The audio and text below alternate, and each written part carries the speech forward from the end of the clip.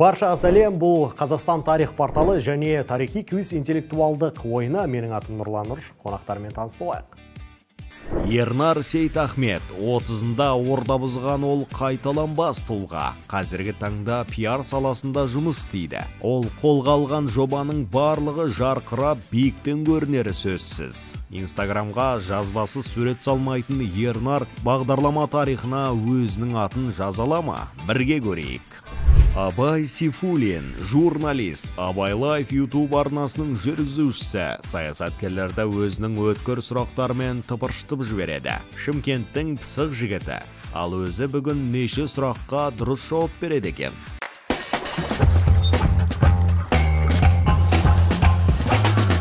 Ал жігіттер қош келдіңдер. Қалайсыңдар? Күшті. Жақсы жақсы. Бәріне сәлем. Ә, тарих порталына жазылыңыздар. Ә, өте қызық контент. Қазір шын мәнінде солай ма? Көреміз. Мына абай менің жұмысымды істеп отыр рахмет. Мен кете берейін. Жігіттер өздерің сөйлесе ерекең ораза бүгін кішкене. Ораза ма точно? Иә иә иә кішкене. Барлықтарыңызға сәлем. Менің жанымдағы абай сейфулла абай, абай лайф ютуб каналының жүргізушісі. Абай лайф ютуб каналына және тарих порталына жазылып қойыңыздар. Ал жігіттер тарихқа қалайсыңдар жалпы? Тарихтан ұбт дан неше алдыңдар? Бір еске түсіріп өтсек сол кезеңдерді. Ұбт дан 15 бала алдым. Тарих бойынша ма? Ба? или жалпы ма? Е жоқ 15 емес 15 емес. Подожди мен грантқа түстім ғой. Значит где то жиырмадан асырдым. 25 сұрақ қой негізі қай да. түстің грантқа? журналистика тарих пен қазақ есептеледі ғой. онда иә онда онда жақсы алыпсың жоқ тарихтан 25 сұрақ болады. Е Сол ғой? 23 па 22 ма алдым ғой значит. Енді максималды алыпсың 5 алдым ғой. Ереке өзің. Мен мен ә, физикадан 16 алдым. Қалған бәрінен 19 алдым сол есімде мхм. 19 19 енді сен 19 16 физик, физика мамандығын бітіргенсің ғой негізі иә, сол иә. бойынша түстің иә бізде квиз ойын болғаннан кейін а, үш кезеңнен тұрады біздің жалпы ойынымыз иә. Бірінші сұрақ интеллектуалды ойындар. А, тез тез жауап беруге тырысасыңдар. Өте жеңіл сұрақтар деп ойлаймын енді өздерің. Көресіңдер ғой. Екінші кезеңде бес сұрақ. А, енді бұл жерде төрт нұсқамен болады. Нұсқаны оқып біткенше шыдай тұрып енді жауабын білсеңдер бірден айтып қоймаңдар иә. Жауабын біткеннен кейін күте тұрып одан кейін айтасыңдар. Енді бұл жерде жылдамдықты талап етеді жаңағы қол көтеріп немесе сразу бірден ответін жауабын айтып жіберсеңдер болады. екеуміз бірге жауап беріп отырсақ жоқ бірге жауап бұл жерде қарсылассыңдар бір сендер. қарсылас- қарсылассыз ба? кішкене ары отырсаңдар да болады бері отырсаңдар. Білмеймін өздерің көріңдер енді. Жеңіске жеткенге бірдеме бересіңдер ма былай? Жеңіске жеткен кезге енді біздің ықылас тілегіміз болады. Бірінші. Всё, болды. қабыл болсын бастысы. Сосын лайк қоямыз енді ютуб Ниет арналарыңыз болса. жақсы. Үшінші кезең суретті сипатта деп аталады. Ә, белгілі бір тарихи тұлғалардың суреттерін көрсетемін. Соның аты жөнін табасыңдар. Тапсаңдар бір ұпай ал егер сипатта биографиясын айтып тарихтан несімен есі қалып атын жазып кетті дегенді тауып айтсаңдар екі балл қосып беремін. Мхм түсінікті. Қысқа нұсқа осындай. Ә, алып бара жатқан шарты жоқ. Түсінікті болса бастайық. Go. Дайынсың ба? Мына жерге перебив- перебивка қойып қоямыз. Шапалақтан кейін қоясың ғой. Иә. Шапалақтың алдында қойсаң болады.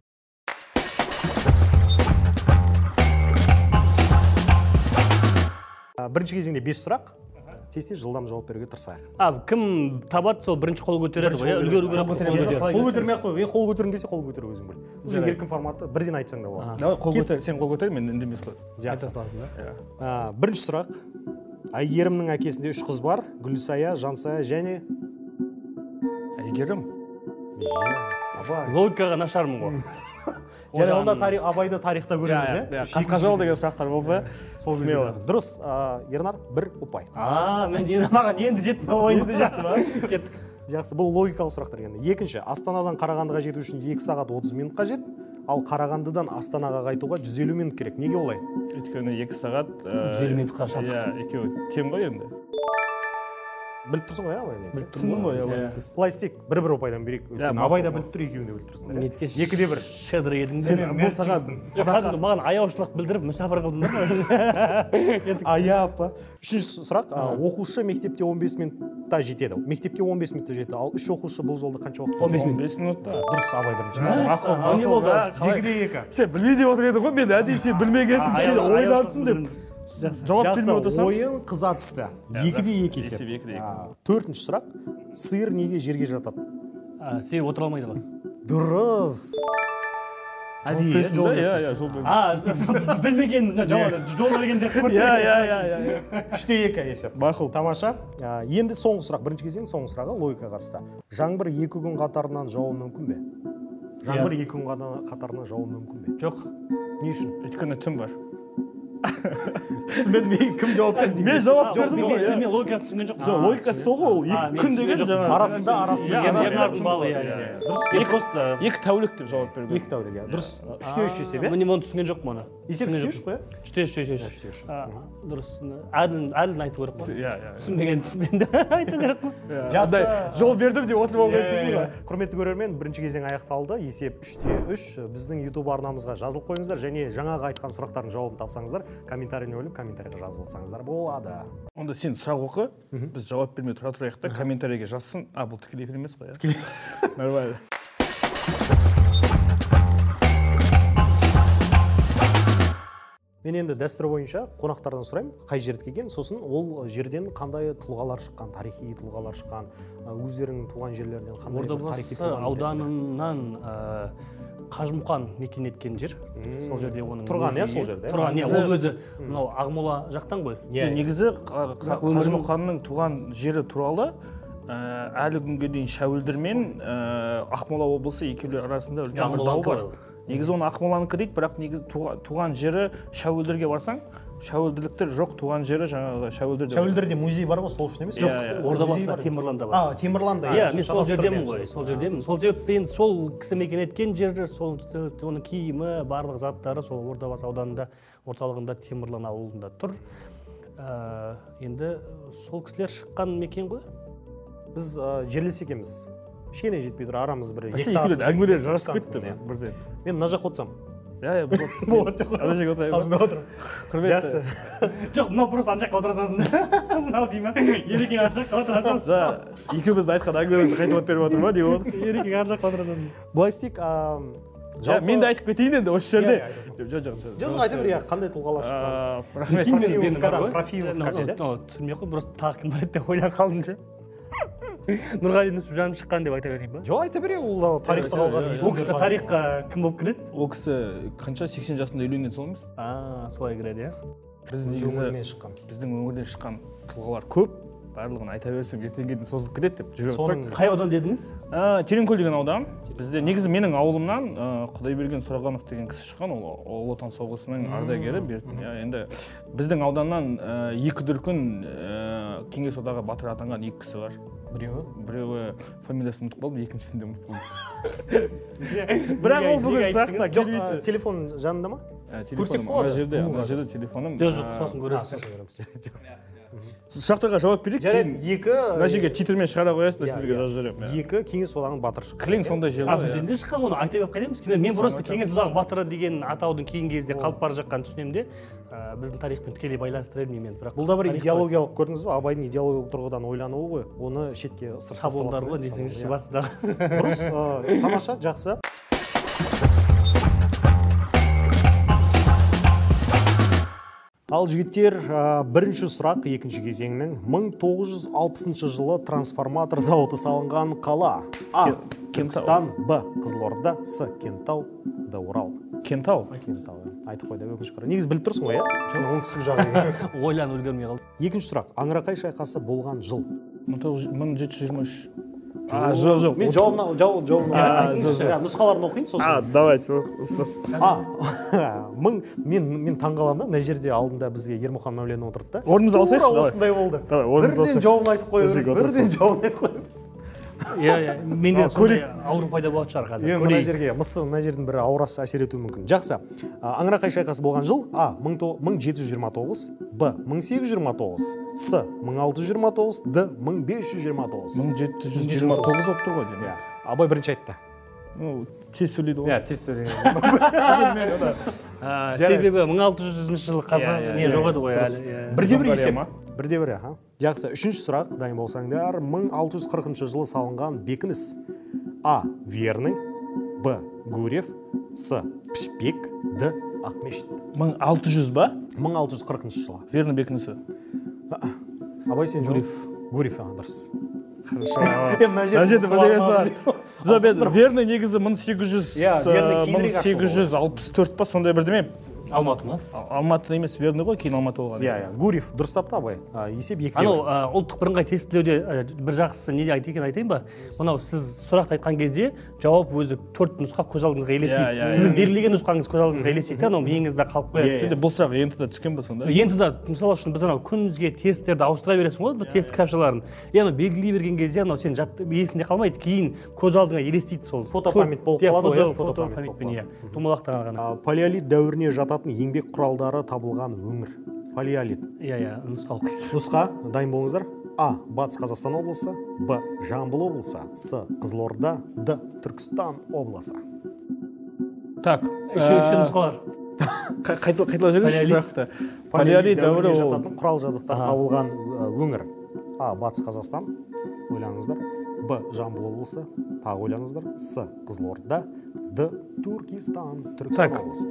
Облысы вариантында айт бірінші Нұсқа, бір-бір нұсқаны бірінші айтады. нұсқаны еді А, батыс қазақстан. Батыс қазақстан. Батысты алынған иә абай? А, ернар ереке?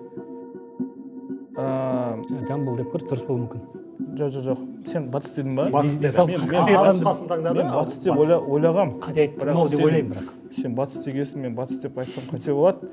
Ыыы бүйтіп ойлан жоқ бүйтіп иә соны ойланып жатырмын қалай келтірсем болады деп. Мысалы ботай мәдениеті ол солтүстік қазақстанда жаңағы олар енді палеолит палеолит деген. Окей қызылорда облысы болсын. Дұрыс жауабы батыс пен қызылорданы таңдадыңыздар иә? Қалғаны түркістан мен жамбыл қалды иә? А, дұрыс жауабы б нұсқасы жамбыл. Екінші кезеңнің соңғы сұрағы. Төңкеріс және қазақтар деген мақаланы жазған кім? Өте атақты мақала болған. Қай жылы жазылған? Ол жылын есімде шамамен шамамен мың сегіз жүз алаш кезінде ғой алаш А, орда кезінде. иә. а әлихан бөкейхан жиырма жас б тұрар рысқұлов с ахмет байтұрсынұлы д ораз жандосов. Ыыы так. Не тұрар рысқұлов не ораз жандосов осы екеуінің біреуін таңдау керек енді. Таңдаңыздар енді. Жоқ ахмет или әлихан нелогично. Жоқ неге жазбауы мүмкін? Ахмет или әлихан мен оқыдым ол мақаланы. Ұмытып қалдым. оқыдың ба? төңкеріс және қазақтар деп атау. Оқыдым оқыдым оны. Неге бақыл ол кісі жазбауы мүмкін? Ол кісі де жазуы мүмкін. Білмеймін мен мен қазан төңкерісі жайында емес па төңкеріс және бәлкім қазақтар бәлкім қазан бәлкім, төңкерісі жайында осы әлихан или ахмет мен әлиханды айттым ба ахметті айттым ба не болып кетті онда онда ахмет деп айтайын жақсы Мақұл. болды ал ахмет жауап ол да ахмет айтсын мен де ахмет айтайық сол дұрыс жауап болсын сосын дұрыс ахмет байтұрсынов нөл балл бола ма сонда жоқ жоқ бір бір балдан қосып берейік өйткені үште екі жеңіп жатыр менің көмегіммен жеңілдігіммен мені жеңіп жатыр үште екі менің көмегіммен жеңілдігіммен сіздерге бір бір ұпайдан жаңа негізі жамбылды табуым керек еді да ал құрметті көрермен бізде үшінші кезең ә, жігіттер үшінші кезеңде суретті сипатта деп аталады. Яғни Табу тарихи қой, тұлғалардың иә. тарихи тұлғалардың суреттерін көрсем. Егер өмірбаян айтамын десеңдер өмірбаян айтамын деп құлшынып тұрсаңдар екі балл қосып беремін. Ал егер атты А, атын ғана есімдерін тапсаңдар жоқ өмірбаян болғанда өміріне қатысты фактілер бір екі факт айтсаңыз да сол да жетеді мысалы. Оның өзі үлкен жаңағы жетістік мысалы. Өтірік ұрып ол кезінде дебатта парасат деген әдеті бар еді ондай деп жіберіп жатсаң жақсы былай істейік. А, кімнен бастаймыз? Бес сурет болады. Бір бірден кезек кезектен көрсетсем соңғы суретін ортаға көрсетемін. Кім бірінші жауап береді? Сол жарайды сонда? Абайдан бастайық абайдан бастайық иә кеттік кім? Так абай саған кімнің суретін қой абай дұрыс жауап бермесе мен жауап берсем бола ма? А, өзің айтсаң болады енді өзің үшін да. Қалың көрерменіміз үшін біздің. А бірақ балл есептелмей ма бал көрермен мен өзіме байланысты. Айтпайды мүмкін қосып салуы мүмкін. Айтпайды да мынау кәдімгі бір гибкий ғой бәрі. Иә иә. Мен білемін бұны. Тоқта ереке айтпай тұр тұр. Біздің көрерменге көрсетіп қояйық абай ойланғанша иә. Мына жерге сурет шығады негізінде. Көріп отан соғысының батыры. Иә иә иә иә. ешкім айтқан жоқ па? Айтқан жоқсың ба ереке әлия емес мәншүк енді көрініп тұр ғой отан соғысының батыры екен. Ұшқыш па? Ұшқыш болуы мүмкін. Мерген хиуаз доспанова. Біз енді мектеп кезінде әлия мен мәншүкті әкеліп Иә, көрсете беруші еді Бұл ғой енді- көрініс ойнатып Жоқ, бәлкім ол туралы деректер бар Деректер енді шыққан шығар. бастырған шығар жақсы кеттік Аха. келесі сурет жалпы әңгімеміз көп екен танисың ба ол кісі атақты кісі құрметті көрермен сіздер де тапсаңыздар жазып отырыңыздар. дұрыс таппайтын қуанып тұрмын айналайын көршің байып жатса егер қуаныңыз. Иә. Жоқ давай давай бүйтіп ойланып көрейік. бір иә. айтайын иә. Ереке қиындау болып тұр ғой ерекеге сол үшін айтып жіберейін. Ол кісі дипломат болған. көрсеткіші енді. Аха кім ғой? Дипломат болса кеңес үкіметінің адамы ма? Ә, кеңес үкіметінің кезінде болған иә ана кім болма Төре- нәзір төреқұлов емес па онда? Дәл тап ой мына кісі біледі екен ғой. Мен мен кішкене нәзір төрәқұлов иә дұрыс айтасың. Бұл кісі туралы ақпарат беріп өтсең өйткені өйткені өте танымал кісі Иә, араб тілін білген. Нә- нәзір төреқұлов ыыы, қай жылы тіл өмір білген ба, сүргенін тоғыз тіл білген білмеймін. ба? Ыыы, әжептәуір тіл білген және сауд арабиясында қазақстанның елшісі болған Иә, мұсылман иә, болғандықтан. Қазақстан дегенде ксро ның иә содан өте қатты құрметтеген. Кейін бұның жаңағы ксро дағы ыыы, танымал ә, сауд арабиясындағы танымалдылығын сталин қызғанды ма? Сондай бірдеңе болады да қазақстанға қайтарып алып келеді келгеннен жақсы иә, сөйлесті ғой. Жақсы араласты өте жақсы араласты жақсы дұрыс айттың. Екі ұпай қосып берейін ерекеңе Екі- екіде па? бір иә тең теңес жоқ енді үшінші кезеңнің ұпай саны бойынша. Ерекең екіде бір бәрекелді мынау енді оңай. Жақсы. Мына кісіні те тану керексің. Ал абай дайын болсаң. Жоқ ана жерде басқа сурет болды. Мына кісіні мен танимын. Сен қайсысын таныдың өзі? Жоқ осыны танимын мен. Көрініп қалды ғой бұл бұл ә, бұл ә, бұл да ұлы отан соғысына қатысқан. Бәлкім. Қателеспесем. Шатастырып жатырмын әлі. А маған ол осы кісіні табу керек па? Негізі ерекең ойланып отыр ғой негізі ерекең қойылған сияқты. Жоқ абай саған. Менде бір нұсқа бар. Қазір бір нәрсе айтсам тауып қоясыңдар бірден. Партизан деп айтқым келіп жоқ тұр жоқ сен айтпай тұра тұр ереке абай қасым аман жол емес пе? Жоқ. Қасым қайсенов па бұл? Қасым жоқ қайсенов. Жоқ қасым қайсеновтың емес. құсайда келеді екен иә қасым мынау салынған сурет па әлде фото сурет па? фотосы ғой фотосы фотосы кішкене жаңартылған деген сияқты. Иә. Мә, кім бұл? Саған көмектескім келіп тұр барынша бірақ шын есіме түсе алмай жатыр білмесең қазір бір нәрсе айтайын сосын тауып қоясыңдар бұл кісінің атына көше бар алматы қаласында ең үлкен көшелердің бірі. Райымбек. Жоқ так. Панфилов панфилов деген ба жоқ панфилов орыс панфиловтың суреті кәріл болу керек жігіттер танисыңдар ма жоқ тоқта алматыдағы үлкен көше. Айтамын ғой енді үлкен көшелердің мен жарайды енді былай болсын. Шығыс қазақстан облысында шығыс қазақстан облысында аудан жоқ па осындай жоқ, мен жауап берейін да давай жауап бер ұсынсам бола ма? Аха айтар а, подсказка бердіңіз ғой. Не деп айттың а Алматы көшені айттың ғой иә. иә. Табамын онда қазір? Бір минут бересіз ба Давай, давай, давай, Он- 15 секунд. М, 15 секунд берейік содан кейін болды жауамыз а ойбай. Иә таптым. Бірақ айтпай тұра тұр тапсаңдар айтпай тұра тұрамын бас әрпін айтсайшы жоқ. А ол кім ораз жандосов иә. Иә иә иә иә иә. Жандосова деген кезде таппай. жоқ жандосова десең басқаша біреу елестейтін сияқты ал өйткені орысша ғой. Орысша ғой жандосов көшесі жандосова ғой. деп көп біз қазақтар иә иә иә. Мысалы біз мысалы менің офисім қошқарбаев көшесінде да Қошқарбаев. қошқарбаева қошқарбаева дейді мен жынданамын сол үшін төбелесемін күнде ей қайдағы жарайды кеттік ары қарай жақсы. Келе келесі сурет, иә, кісі туралы ұмытып жүргізуші қалдым келесі сөзден айналып келсін. Жақсы. Келесі сурет ереке өзіңе арналады иә? Саған бір ұпай абай. Ұмытып кетпейік. О! Кім мынау үш кейін санай бұл ұят болды Білем, білем. санай Ә, бір сәкен сейфуллин иә сәкен сейфуллин мынау оригинал суреті ма? Иә бұл Иә, жоқ бұл кинодан сурет а секілді кинодағы иә иә кинодағы кинодан сурет. кім мынаулар бұл кинодағы өйткені мына қараңыздар мына жерде не тұрған сияқты. Мына свет тұр ғой көзіне қараңызшы көзі жарқырап тұр иә светке қарап тұрған сияқты. Енді сәкен сейфуллин туралы деректер көп қой? Көп иә. Музей бар астана қаласында астанада музейі бар ыыы сейфуллин деген көше бар деп қаншама шығармалардың авторы былай істейік ә, енді бәріміз білеміз ғой Сәк- сәкен сейфуллин азан шақырып қойған атын айтсаң ә, саған ә, мұхаммед ұпай ханапия ма жоқ жоқ шоқан ғой бауырым онда білмеймін сырдан келеді ғой а сейфулла ма е дұрыс иә содан келеді біліп тұрсың ғой жоқ сейфуллин ғой фами- фамилиямыз бірдей а не ей мен де сейтахметпін брат я с вами жоқ аты басқа деймін Ә, сағидолла шығар а сен білесің ба мен білемін мен айтсам маған бала бермейсіз ғой бәрібір иә жоқ ойланып көреміз ә, айтады просто балың басталады ас сыдан кетейін деп тұр да иә дұрыс қалай балың ас кетейін деп тұр а онда тең бола берсін мақұл жоқ сен мен- бұның алдында бұның алдында жеңдің ғой мені мен просто айтып көре салайыншы білмейсің ба білмейді иә жаңа сайдурахман ба а сайдурахман білем дегенге мен жоқ сайдурахман деген келмейді қазақтарға бұл солтүстіктің қазағы сайдурахман деген тым оңтүстіктің иә тым оңтүстіктің есімі бұл жерде бір. Естіліп қойды естіген жоқпын естіген жоқпын естіген жоқпын кім деп қойды айта сал болды жарайды а садуақас міне, садуақас сейфуллин деген кісі болған деген ба қазақта балам есіңде болсын азан шақырып қойған Сәдуақас, бірі. дұрыс абай таппадың иә басқаша таппадым оны тапқанда маған баға бермейтін едің ғой бәрібір жоқ беру мүмкін еді абай ре- ренжіп отыр кәдімгі жоқ бермеймін бүйтіп осымен тоқтай салайық Сосын үште екі үште екі сонымен қайтайық соңғы сурет бар ғой айтпақшы осы шешуші болып тұр ғой ағайындар.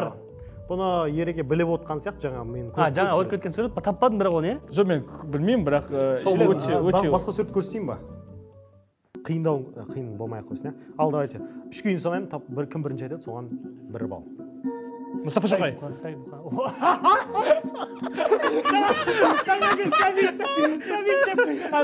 мұстафа шоқай ғой жоқ мен ойладым жауап беріп отырған ұят сәбит мұқанов сен ойыңда сонысы тұрды жоқ ғой көргенмін ғой мынау жаңа миыма құйып тастаған мен мен былай бетінің жартысын көрдім да басының тақырын көрдім айта салдым фокус фокус кино көрдік па мен просто миыңда осы кісі тұрды ғой жоқ білемін ғой жоқ бұрғаннан кейін бір жоқ миымда менен бірінші айтады ғой миымда сәбит мұқанов тұрды да. Қуанбағаны көп болды абай суретті суретті көрсе салып сәбит мұқанов дей салдым саған сәбит мұқанов емес деп өзі айтты ғой. Жаңа сен осыны көрдің ба көрдің ба қатты манипуляция жоқ бағана көріп қойдың ба сен ереке? Таныдың ғой сосын қалай мен сол басында алып кетті соны көрсетті реально деп ойладым да.